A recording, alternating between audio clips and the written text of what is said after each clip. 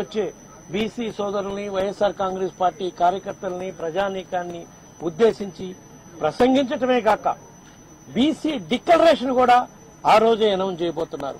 అంటే గత నాలుగు సంవత్సరాల నుంచి చంద్రబాబు నాయుడు గారి పాలనలో బీసీలకు ఏ విధంగా అన్యాయం జరుగుతుంది ఆ అన్యాయాన్ని మనం ఏ విధంగా తొలగించే కార్యక్రమం చేస్తున్నాము అనే దానికి వైఎస్ఆర్ కాంగ్రెస్ పార్టీ అధ్యక్షుడు జగన్మోహన్ రెడ్డి గారు ప్రజా సంకల్ప యాత్ర పాదయాత్ర స్టార్ట్ చేయక ముందే బీసీల సమస్యలను పూర్తిగా అవగాహన చేసుకోవడం కోసం బీసీ అధ్యయన కమిటీ అని YSR Congress party BC cell అధ్యక్షుడు జంగా కృష్ణమూర్తి నాయకత్వంలో ఒక అధ్యయన కమిటీని అపాయింట్ చేయడం జరిగింది.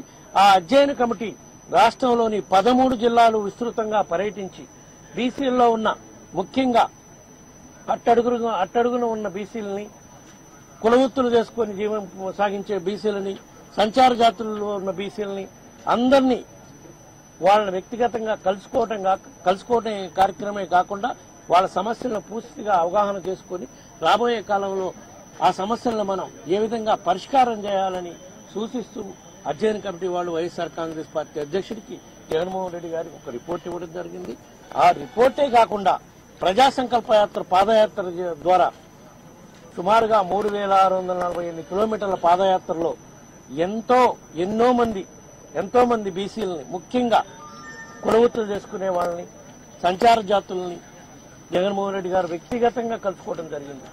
వాళ్ళు ఎదుర్కొంటున్న సమస్యలు తెలుసుకోవడం జరిగింది. ప్రత్యక్షంగా చూడటం జరిగింది పాదయాత్రల ద్వారా.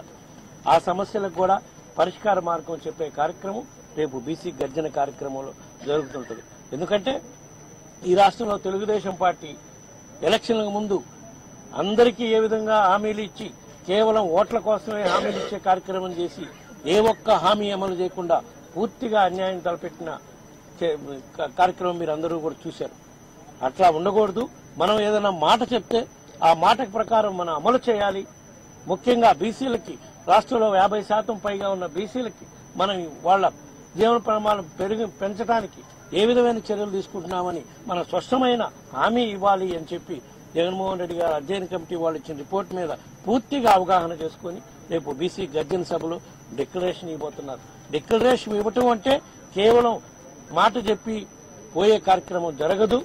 ఈ డిక్లరేషన్ ప్రకారం మేము ఏ విధమైన సమస్యల్లో ఉన్న బీసీలకి పరిష్కారం మార్గం చూపుతామని చెబుతామో ఈ విధంగా చేసి చూపెడతామని హామీ ఇచ్చే కార్యం ఈ ఈ బహిరంగ సభ కార్యక్రమం ద్వారా తెలియజేసే కార్యక్రమం జరుగుతుందని చెప్పి ఈ పశ్చిమ గోదావరి తూర్పు గోదావరి జిల్లాలే కాకుండా రాష్ట్ర నలుమూల నుంచి కూడా బీసీలు అత్యధిక శాతంలో ఈ గర్జన సభకి వచ్చే కార్యక్రమం అన్ని జిల్లాల ప్రజల నుంచి అన్ని జిల్లాల నుంచి వచ్చే కార్యక్రమం జరుగుతుంది కాబట్టి ప్రజలందరూ సమ- సమైక్యంగా ఉండాలి. ఇక్కడ ముఖ్యంగా పశ్చిమ గోదావరి జిల్లా వైఎస్ఆర్ కాంగ్రెస్ పార్టీ శ్రేణులు బీసీ నాయకులు అందరూ కొంచెం సమిష్టిగా పనిచేసి ఈ కార్యక్రమం మొత్తం విజయవంతమయ్యే కార్యక్రమం విజయవంతమయ్యే విధంగా చూడాల్సిన బాధ్యత మన అందరిపై ఉందని చెప్పి ఈ సందర్భంగా తెలియజేసుకుంటున్నాం.